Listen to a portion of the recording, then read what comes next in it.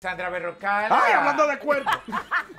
Ay, este ¿Cuál programa- espía es? ¿Quién Señores, fue el productor? este Mi amor, tú. Que tenían que pegar los Tú, cuernos por lo de Sandra tú, Berrocal. mi amor, que eres el diablo.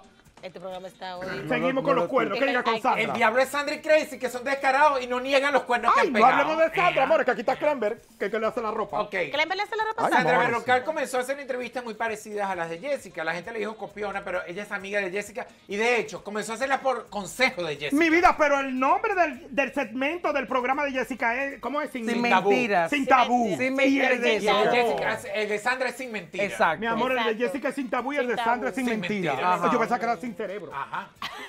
Me dije. Ay, yo no puedo. Mira, yo. Ya ustedes se volvieron Ay, no. amigos. eh.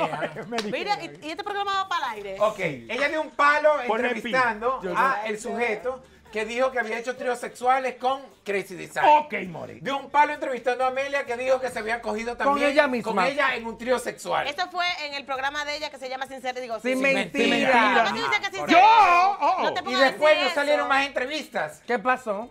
Que lo explique ella misma. Tiren el video.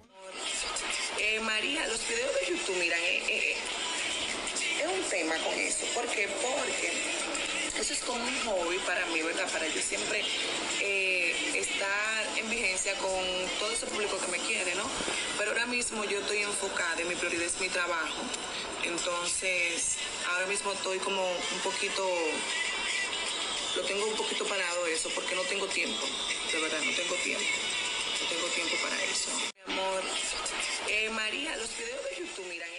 Eh, eh, ¿Le pone un chopito? Eh, ¿Qué dijo ella? No, Mi ella vida. dijo que en lo de entrevista es un tanto como de hobby, la lleva mucho tiempo y está enfocada en su proyecto, su trabajo, que es la compañía de ¿Consume TLC. tanto tiempo vender los tejos? Lo que pasa es que ella es directora nacional. ¿Qué significa ¿Qué eso? Directora Exacto. nacional en unos rangos grandes dentro de la compañía, que va rumbo a ser embajador, directora global y luego embajadora. Qué Está trabajando con su equipo. ¿Genera mucho dinero? ¿Cómo Mi amor. más? Más que la televisión y el YouTube. Claro que sí. O sea, ella va a ganar más que Georgina en reality. Claro No, que sí. Señores, tomen en Si cuenta una semanalmente cosa. 12 mil dólares. Tomen en cuenta una 12 cosa. mil dólares semanales. Óyeme algo. Como nadie. Ha hecho dos entrevistas y en las dos entrevistas salió en barra. Mi amor, ¿qué más entrevista va a hacer? Ese- En la primera, mi amor, el sujeto le da con yuca. En la segunda, Amelia le da con yuca. ¿Qué más quiere La hacer? gente Lapito ver una entrevista con Tengo un punto y lo vendo. Sí, la un Cómpramelo. No está. Mira, muy inteligente Sandra entonces. Ay, el audio, ¿dónde Muy está? inteligente que digas que es por falta de tiempo a decir porque te embarraron Lo que pasa es que se fijan, ella está viajando por el mundo, que ella nunca pensó en su vida andar en país en país. No, tampoco llevando- lo pensó en bajada. Bueno, pero que eso es lo que ella anda, trabajando con sus equipos,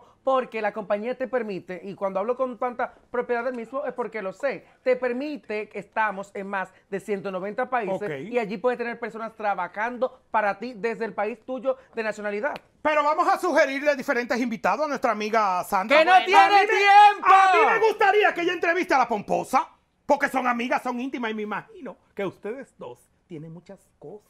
Por ejemplo, yo puedo ir a, a la entrevista y en lo que yo lo ¿Pero ella tú te vas a odia. hablar? Él- Ella, me te ¿Y por odia. Tú ¿Y la vives acabando. Señores, vámonos con jueves de recuerdos, jueves De de, jueves de TVT. Mira, tú Ay. sales por un lado cuando sabes, cuando Sandra trabaja. Mira, sa- salió por la tangente. No. Porque sabe que si la invitan va a haber ¿Y problemas. me pero óyeme, anteriormente- Mira, tú has hecho un trío, oh, pero contigo. Vamos a ir con lo que dijo No, El Crazy, TVT no. es mejor, mi amor, por favor. No, a no.